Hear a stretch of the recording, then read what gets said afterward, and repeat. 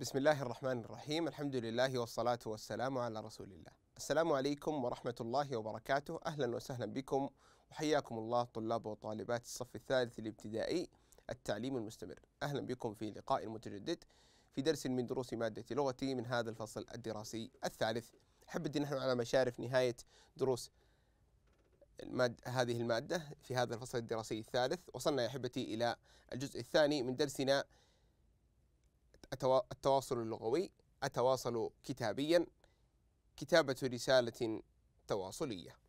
هذا هو الجزء الثاني من درسنا. بسم الله الرحمن الرحيم. الكفايات المستهدفة. أولا تعرف العناصر الرئيسة للرسالة التواصلية. اثنان تمييز العناصر الرئيسة للرسالة المقروءة. ثالثا كتابة رسالة تواصلية.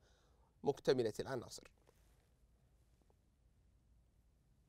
أحبتي بارك الله فيكم نفتح على الصفحة المطلوبة الظاهرة على الشاشة أمامكم. صفحة 311 ويظهر كذلك أمامكم الرمز الرقمي الذي بإمكانه بإمكانكم مسحه للوصول إلى درسنا. نراجع مكتسباتنا السابقة التي تعلمناها في الجزء الأول من هذا الدرس. ما مكونات الرسالة؟ ما رأيكم؟ تعرفنا على مكونات الرسالة التواصلية. ما هي؟ أحبتي بارك الله فيكم أحسنتم. نعم لدينا البسملة ولدينا كذلك اسم المرسل إليه واسم المرسل وكذلك المكان والزمان وأيضا ماذا؟ عبارة الختام. أحسنتم. بارك الله فيكم. كل هذه أحبتي مكونات للرسالة التواصلية تظهر أمامكم على الشاشة. اسم المرسل وتوقيعه البسملة اسم المرسل إليه عبارة الافتتاح التحية نص الرسالة عبارة الختام والتاريخ والمكان. أقرأ وألاحظ. حسنا. هذه رسالة تواصلية أمامكم نقرأها سويا. بسم الله الرحمن الرحيم. الجبيل في واحد رمضان 1443 للهجرة. عزيزتي جواهر عزيزتي جوهرة السلام عليكم ورحمة الله وبركاته. أمد إليك عبر هذه المسافة الجغرافية الشاسعة التي تفصل بيننا يد المحبة الخالصة والوفاء الدائم مهنئة مهنئة إياك بقدوم شهر رمضان المبارك راجية المولى عز وجل أن يهله عليك وعلى أفراد أسرتك بالأمن والإيمان والسلامة والإسلام والصحة والعافية بلغي تهاني لوالديك لوالديك العزيزين اللذين أكن لهما كل محبة وتقدير. أستودعك الله بقلب عامر بالحنين والشوق إليك صديقتك سلمى. بسم الله الرحمن الرحيم. في الأعلى ما هذا المكون من الرسالة؟ ما اسمه؟ أحسنتم. البسملة.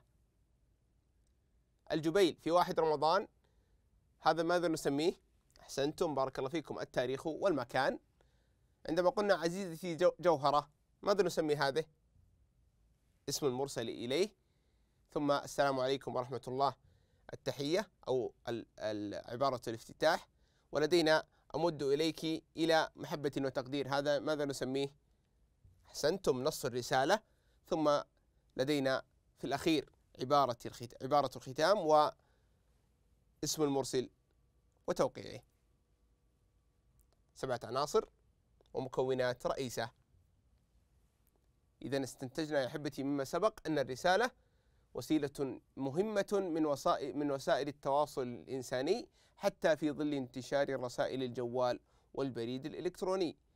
تتكون يا أحبتي هذه هذه الرسالة من سبعة عناصر تجعلها في شكلها ووظيفتها متميزة عن بقية النصوص وهذه العناصر هي واحد البسملة اثنان المرسل إليه ثلاثة المكان والتاريخ أربعة عبارة الافتتاح خمسة نص الرسالة وهو الكلام الرئيس في هذه الرسالة ستة عبارة الختام وآخرا السابع اسم اسم المرسل وتوقيعه.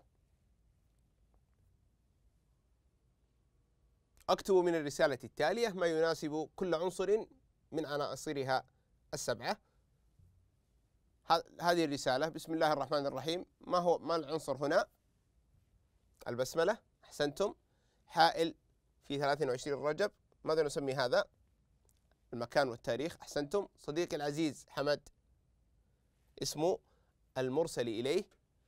عندما قلنا السلام عليكم ورحمة الله نسمي هذا ماذا؟ أحسنتم. التحية أو عبارة الافتتاح. ولدينا تلقيت ببالغ الحزن والأسى ببالغ الأسى والحزن الشديدين إلى الرضوان. نسمي هذا ماذا؟ أحسنتم نص الرسالة أو النص الأساسي. وفي الختام إنا إليه وإنا إليه وإنا إنا لله وإنا إليه راجعون. هذا نسميه عبارة الختام. وصديقك المخلص سعد اسمه المرسل وتوقيعه.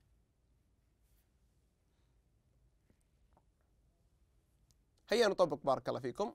هنا في هذه الرسالة نقرأها سويا. أقرأ الرسالة وأحدد في كل منها اسم المرسل اسم المرسل إليه عبارة الختام مكان المرسل تاريخ الرسالة غرض الرسالة.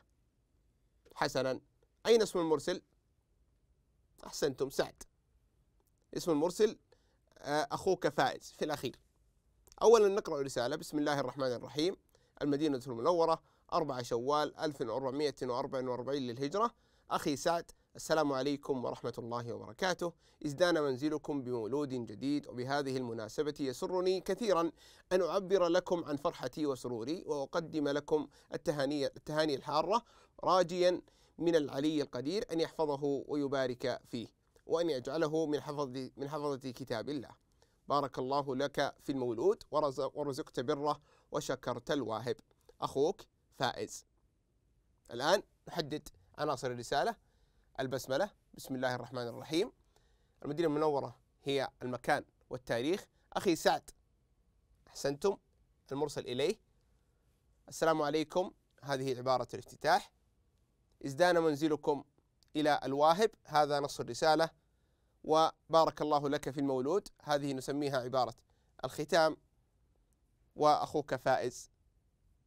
اسم المرسل وتوقيعه. كذلك الحال يا أحبتي في هذه الرسالة. بسم الله الرحمن الرحيم. نجران 9 شوال 1444 أخي العزيز سلطان السلام عليكم ورحمة الله وبركاته.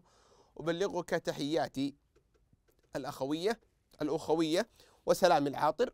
وأنقل لك تحيات كل أفراد الأسرة الذين يتمنون أن تبلغك هذه الرسالة وأنت في أسعد حال متمتعا بالصحة والعافية. لقد وصلتني هديتك الغالية التي أثلجت صدري وأدخلت على قلبي الفرحة على قلبي الفرحة والسرور.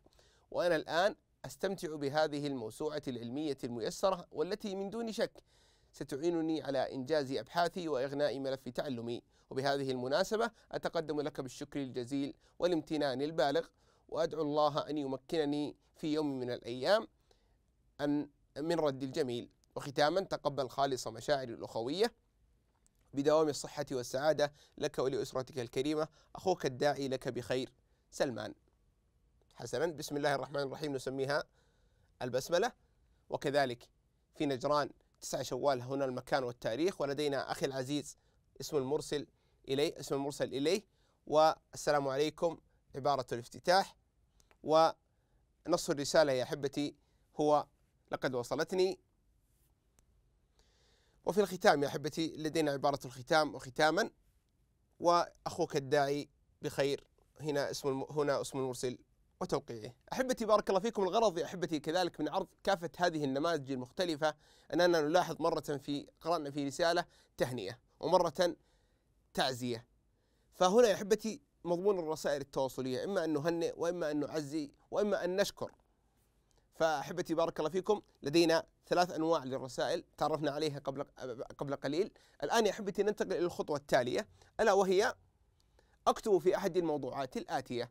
أولا الموضوع الأول أكتب رسالة إلى أخي الذي يسكن في مدينة بعيدة. أهنئه فيها بمولوده الأول الذي سماه عثمان. أو الموضوع الثاني تلقيت بالغ الحزن والأسى نبأ وفاة أحد معارفي إثر مرض عضال ولم ينفع معه علاج. أوجه رسالة إلى ابنه ابنته وأعرب عن مشاعري تجاه الحادث الأليم. ذاكرا الخصال المتوفى وأخلاقه الحميدة. أو الموضوع الثالث أكتب رسالة إلى أحد الأصدقاء أشكره فيها على ما قدمه لي من من مساعدة في إنجاز عمل ما. نستعين أحبتي بهذه الألفاظ والعبارات التي تساعدنا في كتابة الرسالة. فعند يا أحبتي التعزية والمواساة نستفيد من هذه العبارات الظاهرة على الشاشة أمامكم. لدينا ثلاث عبارات. وإن كانت يا أحبتي رسالة للشكر نستفيد من هذه العبارات. أشكر لكم أكرر شكري وإن القلم يعجز عن شكركم. وإن كانت يا أحبتي ألفاظ أو إن كانت عبارة وإن كانت رسالة للتهنئة فنستفيد يا أحبتي من هذه العبارات. أقدم لك أخلص التهاني. إنها لبشرى سعيدة ومناسبة كريمة وهكذا. إذا هذا هو واجبنا يا أحبتي. أكمل حل النشاط السابق الذي في صفحة 316 و 317 نفذ ذلك يا أحبتي ونكتبه في كراسة الواجب. وصلنا يا أحبتي إلى نهاية درسنا شكرا لكم لتفاعلكم. لا تنسوا يا أحبتي كتابة أحد الموضوعات التي أخذناها لتطبيق ما تعلمناه. شكرا لكم. السلام عليكم ورحمة الله.